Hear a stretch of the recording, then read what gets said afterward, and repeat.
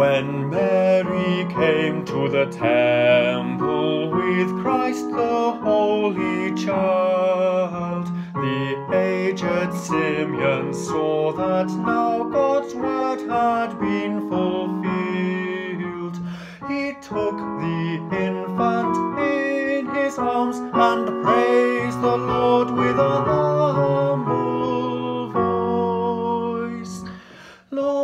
Now lettest thou thy servant depart in peace, according to thy word.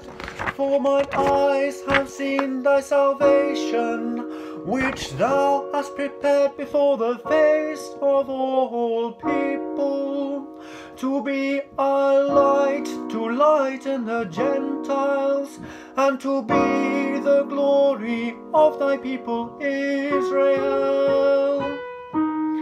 Lord, help us see our purpose as Simeon saw your Son, and let us feel his contentment when our life's work is done. That at the last, when we see you, our words may